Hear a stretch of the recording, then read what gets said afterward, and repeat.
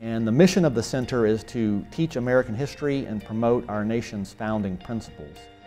And it was started really sort of as an academic initiative back in 2007 when we noticed an increasing number of students who came to us with very little knowledge of, of American history or our nation's founding principles. So we started offering some, some extracurricular activities that involved uh, faculty lectures and guest speakers covered a variety of topics, things like the, um, the origins of our Constitution or the importance of the Declaration of Independence or uh, various personalities um, during the American founding period.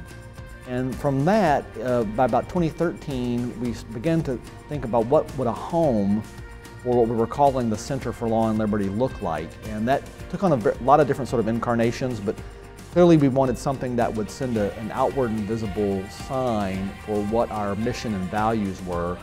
And the natural sort of building that we kept returning to was something that looked like Independence Hall in, in Philadelphia. So um, Dr. Stewart Morris, who's our university benefactor and, and founding father, uh, began sort of chairing a, a, committee for us to reach out to individuals who might be interested in supporting uh, that academic initiative. And I think as he got more and more involved in the process and became a stronger and stronger advocate for it, um, he and his family decided to make a, a gift to make that building a reality here on campus.